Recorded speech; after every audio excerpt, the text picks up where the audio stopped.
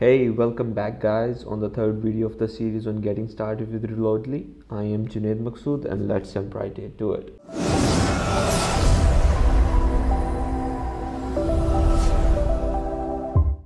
Previously, we talked about countries, how they are supported by the system and successfully created a simple application to show a list of all the countries and show detail for each country by simply clicking on it. Please, if you haven't yet, do watch the previous video as this will extend to it. Today, we'll be adding more features to the same application that we developed. We will be discussing the operators endpoint deeply. We will look at various ways of finding operators that are supported at, by the platform. We will also look at a neat way to automatically find the operator for any given number. Operators knowledge is important to us because we will need this information to request a top-up. Each phone number is registered via operator which we will be sending to the top-up request to the Reloadly platform. The Reloadly platform makes it easy as it gives us the same call for all operators around the world. We do not need to individually study every operator. We simply call the Reloadly post API for the top-up and provide it with the operator ID and that's it. Just to recap, I am still on the same environment. We're using Docker and we've created a simple PHP container and we previously created a simple application that gives us hello world on the home page. We will be coming back to it and we created a simple countries page. When you click on it, it gives you a complete list of all the countries that are supported by the platform and if you click on any individual country, it will give you details of that country like the ISO name, the name of the country, the currency code, that currency name, symbol, flag, and the calling code of that country. I've just changed the UI of the country page a bit to get it more organized. The plan for today is to extend this application. First of all, we're gonna add a new page for operators and we're gonna show a list of all the operators that are supported by the platform. Next, we're gonna do the same thing that we did with the countries. We're going to create a separate page for each operator and and show all the detail of that operator. We are also going to extend the country page and add all the operators that are supported within that country. The last thing we're gonna do in this video is add a simple text field on the home page where the user can enter the phone number and the system will automatically create an API call to the Reloadly platform to get the operator for that phone number. Before jumping right into development, let's quickly switch to the documentation and see which nodes are provided within the operators endpoint. So we have the operators endpoint where you can make a get request and get all the operators that are supported within the platform. We have operator by ID for phone. We can get the FX rate for the operators. We can also get operators by ISO. These are all the operators that are within a specific country. Now let's start with creating a page for the operators. Let's quickly copy the countries page and rename it to operators. We will simply change the endpoint here and make some adjustment to the code. So if you look at the documentation, the operator gives us the operator ID, the name of the operator and a bunch of other information. So for the operator list, what I'm going to do, I'm simply going to show the name of the operator and then in a bracket, I'm going to show the currency code that is supported by the operator.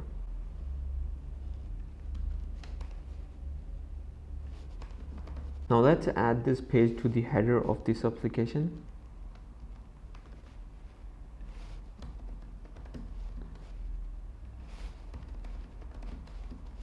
and give our website a simple refresh. Now we have the operators page here. Let's click on it to see if everything's working just fine or not. Let's give our operators a bit more room.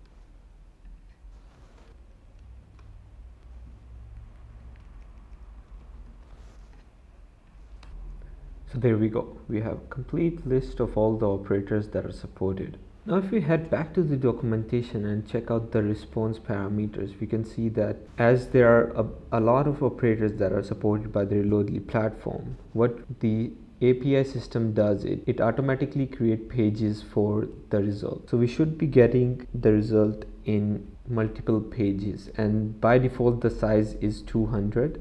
So right now what we're getting are 200 operators that are supported. Let's quickly add simple pagination to our application. So what I'm going to do is get the page from the get variable and if the page is not defined we're simply gonna show the first page let's append that here and we're gonna keep the size to be 200 which is the default you don't have to specify that. Let's append the page here. Now below all the results I'm gonna create a new div. Give it some margin top. And simply create a button for every page that we have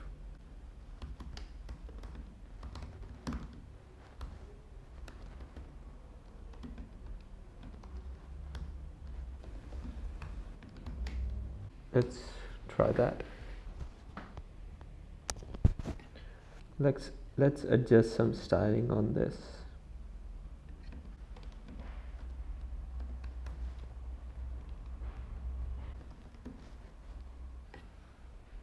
Now we have basic pagination to move around the pages. Let's quickly create a page for each operator. So we're gonna simply create a reference to operator and send in the ID.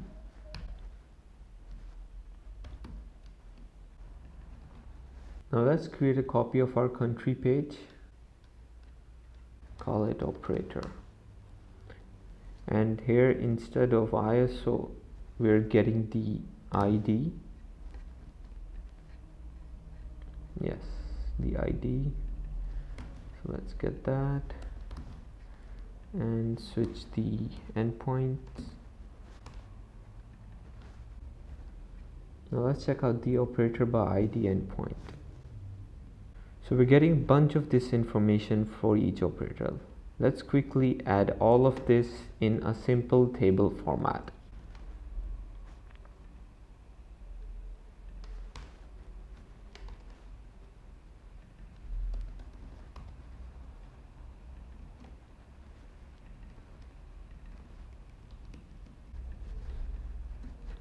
Let's give our app a refresh and see if everything's working fine or not. So we can now click on any operator.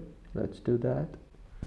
And you can see we have a bunch of information about that operator like the ID, the name, what type of currency that operator supports, the commission percentage that we have for international discount, the commission for the local discount. So one thing to note here is that the denomination type, which is range. Now some operators support a range transaction. Like for example, you can send top up to the phone number of this operator in the range of the minimum is 5 euros and the maximum is 100. So anything between 5 and 100 is supported by this operator so a lot of operators don't support range they support fixed values and if that is the case then the fixed value are gonna be presented in this array let me quickly find an operator that support fixed value instead of range. So this operator 624 of Colombia supports fixed denomination type which means that instead of minimum and maximum value the API is gonna give us fixed amounts. These are the only amounts that you can send for top up on the phone numbers that are of this operator. Now the API also gives us a neat logo that we can use on our website to say that okay we are supported by these operators now let's quickly proceed with the next task which is to extend the country page and add a list of all operators within that country. Now let's quickly make another request after we get the country to the operator by ISO endpoint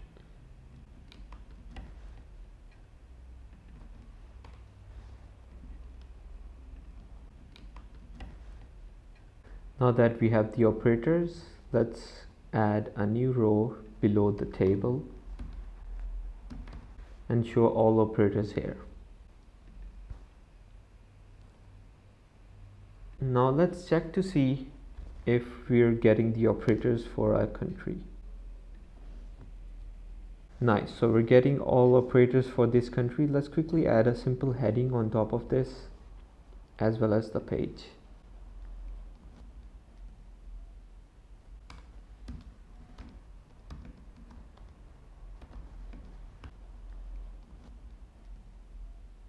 Great, so we have the country description and a bunch of operators. Now as we've copied the code from the operators to here we can simply click on any operator here and it will also take us to the same operator description page. Awesome so we're left with just one task. So now what's left where we want to go to home and have a simple text field here where the user will enter their phone number and the system will automatically detect the operator for that. So in order to get that working, let's head back to our index page and instead of hello world, we're simply gonna say reloadly YouTube.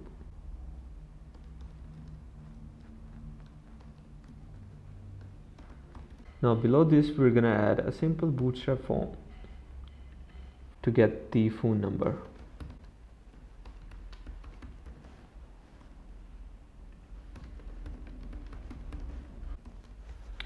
Let's see how that looks like.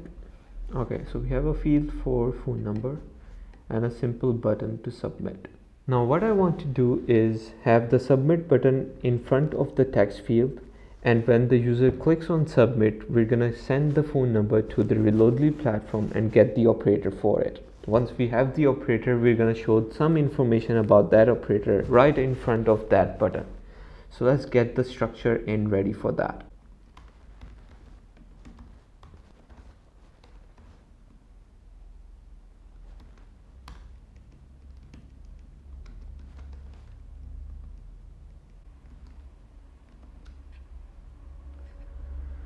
there we go.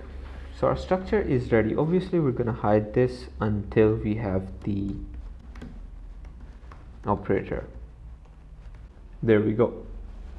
So now we have that working. We also need to get the country from the user. So let's create a simple select for that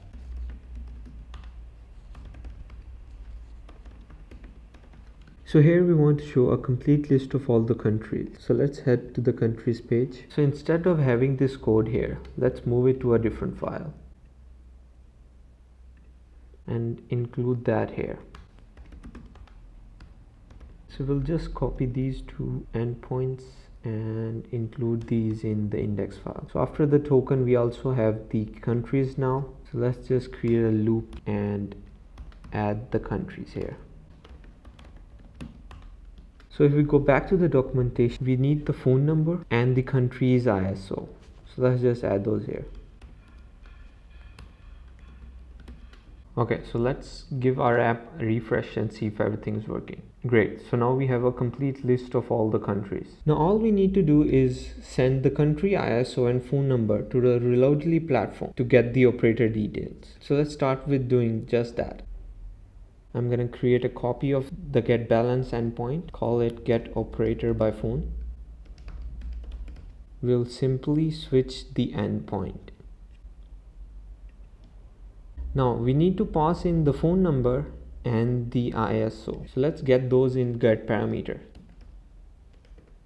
Simply paste these there. And instead of saving the response in a variable, we'll simply print that. Now here, when the form submits, we'll simply create an AJAX call to the get operator by phone endpoint and show the result in the detail box. So let's give our form an ID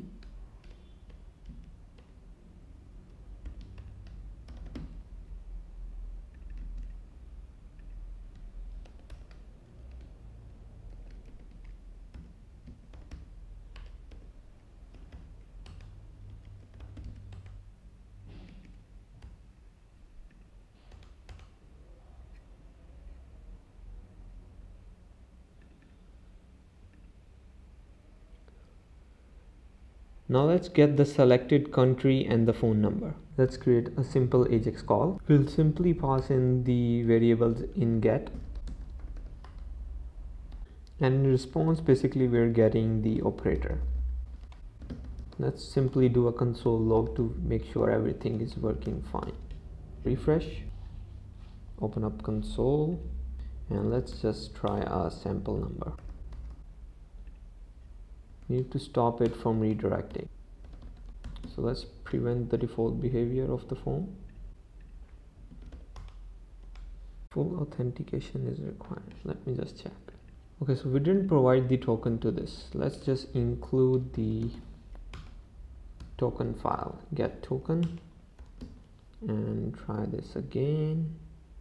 Great. So we have the full object in console now what we need to do is unhide the display box.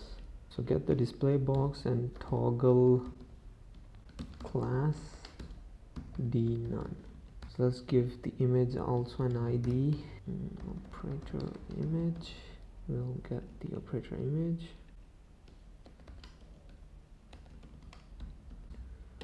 So operator image is logo urls the first object get the id